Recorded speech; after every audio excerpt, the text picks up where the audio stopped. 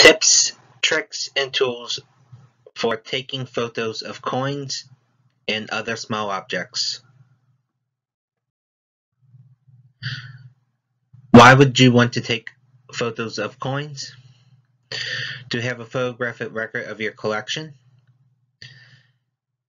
Enlarge the coin to see details such as mint marks, edge lettering, double die, etc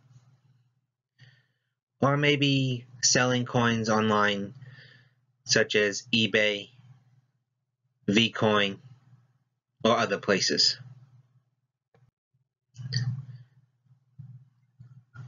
Tip number one, know what type of camera you are going to use. You can have a cell phone, which is has a camera built in it, a point and shoot camera, which is a usually a small camera that has a built-in zoom. There is a bridge camera, which is like a point-and-shoot camera. It has a bigger lens and longer zoom. A DSLR is a camera with an interchangeable lens and it has a viewfinder. It has a mirror in it to let you see through the viewfinder. It comes in two types, a crop sensor and a full frame. And then you have a mirrorless camera, which is fairly new to the market still. It is a camera that also has interchangeable lenses, but it does not have the viewfinder because it no longer has the mirror in it like the DSLR.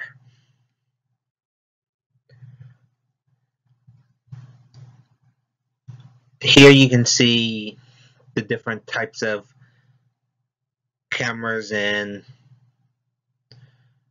different things that they do. Like um, you can see where it says on a cell phone that has an on-screen display. You can actually attach it to a tripod with an adapter. The lens type on the cell phone is a fixed lens and then it's the average sensor size and the average megapixels. Point and shoot and bridge camera basically have an on-screen display. Some of them do have a viewfinder. Uh, most of them will have a tripod mount. The point and shoot has a short zoom where the bridge camera has a longer zoom. The sensor sizes is about the same, and so is the megapixels. DSLR, the crop sensor, the full frame, you can use the viewfinder. You can also use the on-screen display. They have tripod mounts. They have the interchangeable lenses. The sensor size on the crop sensor is smaller than the DSLR full frame camera.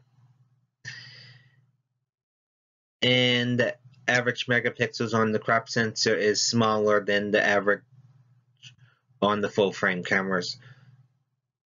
On the mirrorless, you basically have an on-screen display. Some may have a viewfinder, but it's a digital viewfinder. They should have a tripod mount. They have interchangeable lenses, and their sensor is actually smaller than the DSLR cameras. And the average megapixels is about 24 right now. Here is a where you can see comparison of how much difference the sensor in the different cameras is. You can see where the light blue box is the full frame camera. The orange is the DSLR crop sensor camera. Mirrorless is the red pinkish color. The yellow is the bridge camera point and shoot. And the cell phone is the dark blue. This is a list of how big can you actually print the depending on the number of megapixels your camera has as you can see with like 3 megapixels it will only produce a 7 by 5 and that's at 300 dots per inch which is standard in printing. Most of the cameras these days are in the 12, 16, 24 range in the megapixels, which you're looking at 15 by 10 inch frame picture to a 20 by 13 inch picture. But there are some cameras that can produce the 50 megapixel, which is 30 inches by 20.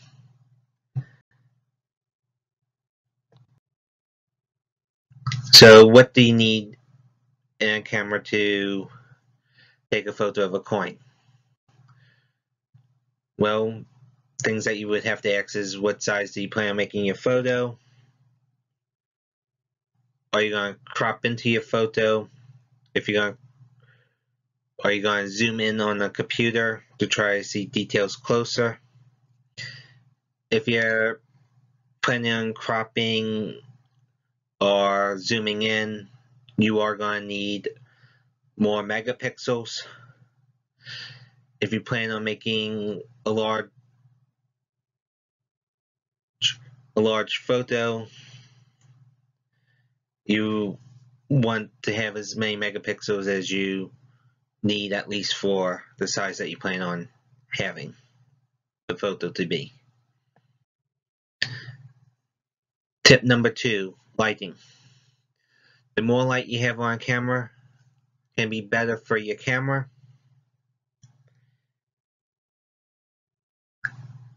The way the camera works is that it needs light in order to take the image. Try taking photos in a well-lit room. You may have to turn on some lamps in the room you can also use desk lamps, uh, swing on lamps to get light closer to the coin. You can buy a small shooting tent which gives has lights built in it and it also gives an even control source of the light. Not all lights are the same color. You may have to let the camera know what type of light you have. This is called white balance. Outside light from the sun is bluish in color. Inside light can be one of three colors. Blue, which is a daylight, cool, and sunlight. Even by a window, sunlight will cast a blue shadow or a blue light actually into the house. You have orange lights, which is usually referred to by being warm, soft white, or amber. And then you have green, which is the fluorescent tubes. This is usually found in commercial buildings. Using a flash is not ideal for coins. It will reflect light back off of the flashback eh, on the coin. This is actually a picture of a light tent. It's a square box with one side open. You can put different color backgrounds in it. This is a picture of a coin taken from inside the light tent. This is same coin but with the flash on the camera turned on. As you can see, it basically washes away the coin. There are settings on the camera to control how much light is let in. This is called exposure. You have ISO, which is how sensitive the sensor is for light. The low number of the ISO, the more light you have to have. The higher ISO, the less light you have to have, but it will add noise or grain to the photo. Shutter speed is how long the shutter is open. You can have a short shutter speed or a fast shutter speed in which then you're going to need to have more light. You can have a long shutter speed in which then you can are going to need less light. Aperture controls the amount of light that reaches the sensor, kind of like how your pupil works on your eye. A large aperture, it allows a lot of light in, but it will cause things to get less in focus. Where a small aperture will you, you will need to have more light, but more of the image will be in focus. For coins and small objects where you are controlling the settings, use spot metering or center metering to set the correct exposure. This is the exposure triangle if you change like ISO, then you're going to have to change, if you have the correct exposure, you're going to have to change like shutter speed, or you're going to have to change the aperture to keep the correct exposure. This is how I get the correct white balance and correct exposure. This is where I'm putting the white card in front of the camera. Then I go into my settings, go to white balance, and I actually take a picture of the white card to set how much light, the color of the light to the camera. And then I can switch the white card to a gray card which is actually 18% gray. And then I just adjusted the shutter speed. So that's 1 40th of a second. My f-stop here was 7.1 and the ISO is 1600.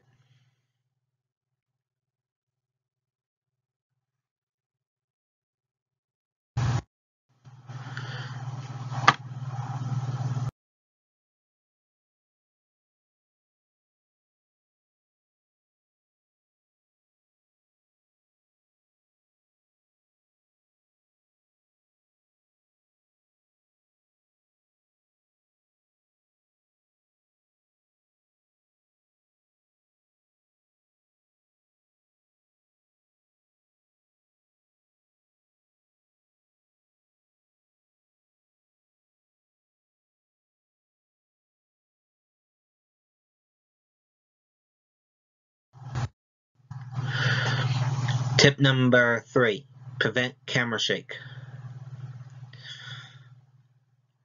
Camera shake is where the camera moves while taking a photo. The image can come out blurry, out of focus, not sharp. This is where you will just a little bit of movement can completely take something that you think you have in focus and completely make it not in focus. Choose to tools to prevent camera shake. A tripod. It will hold the camera. It stabilizes it. Uh, use a remote trigger is a device in which you can release the camera remotely.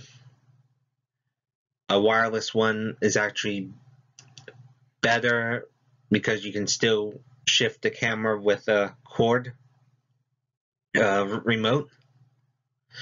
And they even make like Bluetooth um, remote triggers for cell phones these days. Settings in the camera that can prevent camera shake. You have Im image uh, stabilization built into the camera or lens. This prevents camera shake. You have mechanical stabilization, which is a, design, a de device that moves inside the camera to keep the image stable. You also have digital stabilization, where the sensor uses image the image and uh, software tracking and the image movement on the sensor to prevent to give it uh, stabilization. Some cameras you can have both of these turned on at the same time. You can use a delay timer which will give you a couple of seconds, maybe even uh, up to 10 seconds once you push the shutter button, say on the camera itself. It will give you about 2 seconds, 10 seconds for the camera to stabilize and then take the photo.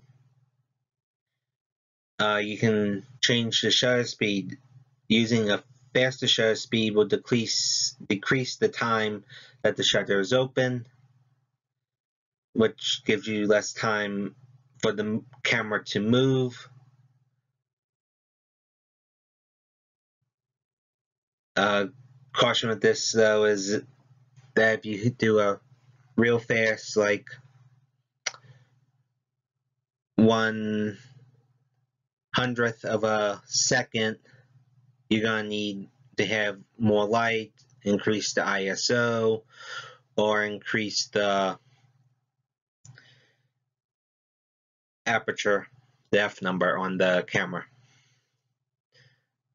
On DSLR, you can set to live view, which will take the mirror and, and lock it up in position, in which now the mirror doesn't move when you take the photo. This also lets you see the image on the screen before you take the photo. And since you kind of turn your DSLR into a mirrorless camera. Tip number four, fill the whole image with the coin. You're going to want to try use as much of the sensor of the your camera as possible by filling it the image on by filling the camera image with the coin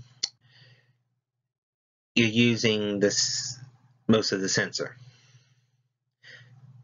You can also take a photo of just a small detail in the coin like a mint mark or date.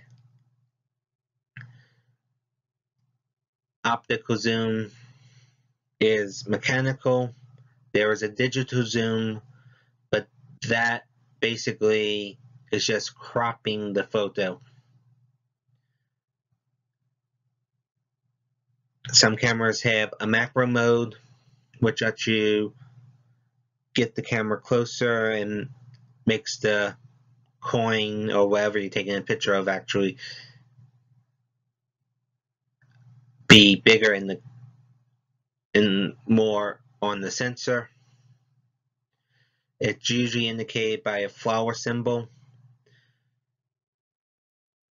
If also, you may see like a mountain. That would be more for landscape and far away photography.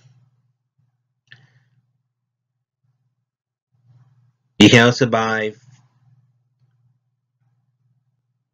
a macro lens to use on a DSLR or mirrorless camera to take close-up photos. This is a dedicated lens that can let you take close photos. You can use close-up filters on DSLR or mirrorless camera lens to change the focal distance of that lens as a magnifying glass. It acts as a magnifying glass in front of the lens.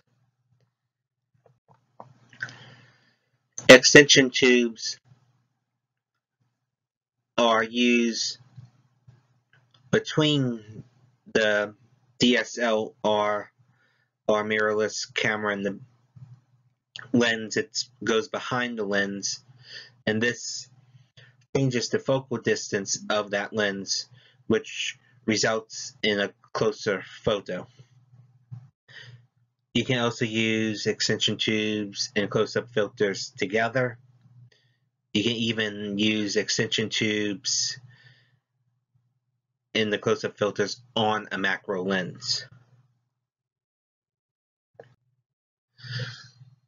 This photo was taken with a close-up filter.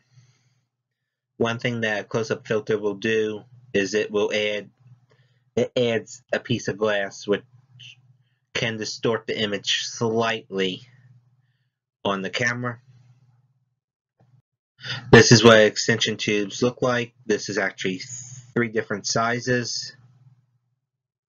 And yes, you can actually use all three at once.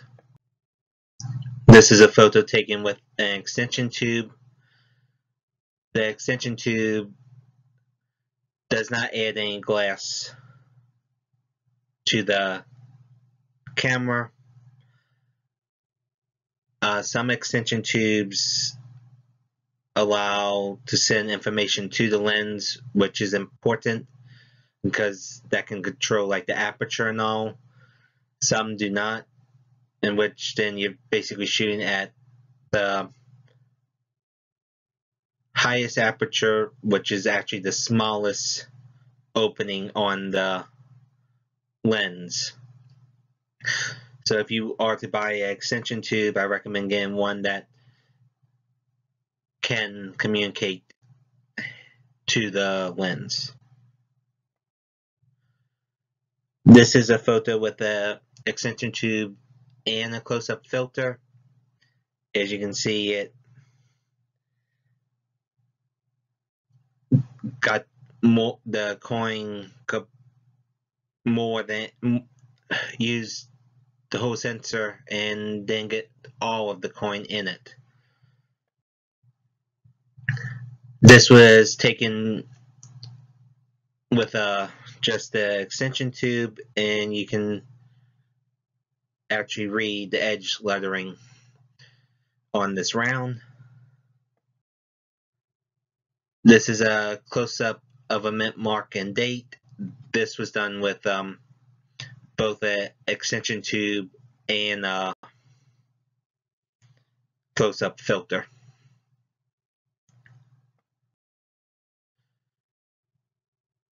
Tip number five, different color backgrounds can give a coin a different look and you can use a light table for shadowless and pure white background a light table is a light that you can actually place objects on top of for taking photos.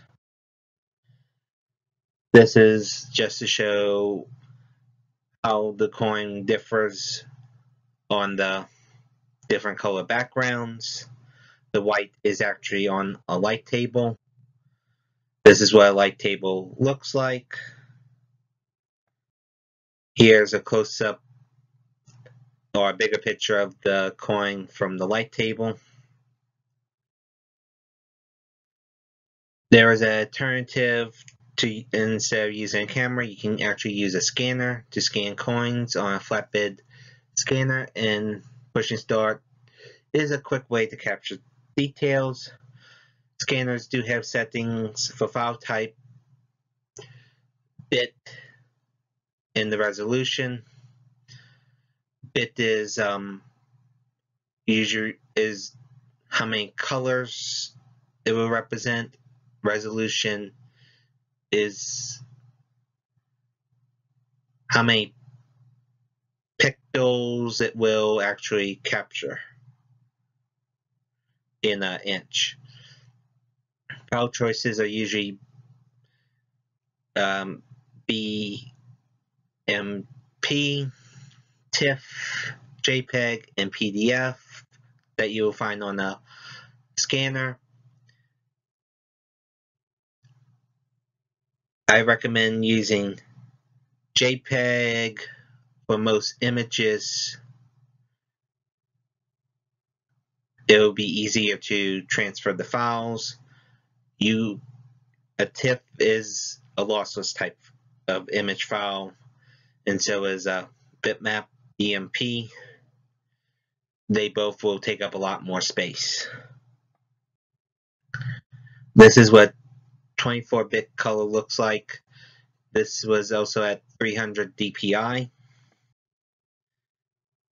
This is uh, a 48-bit color at 300 dpi.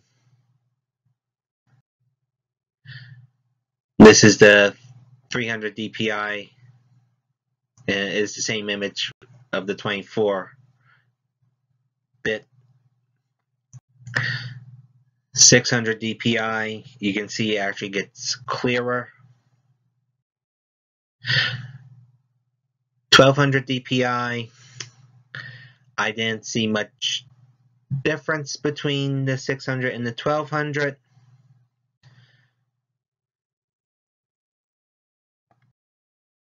This is a 48-bit at 4800 dpi. This is the maximum my scanner will let me do, which is the most amount of details, and this took about two minutes to scan.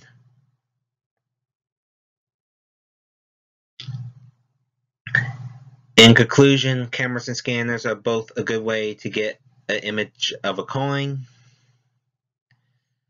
knowing how to use the equipment can produce better images.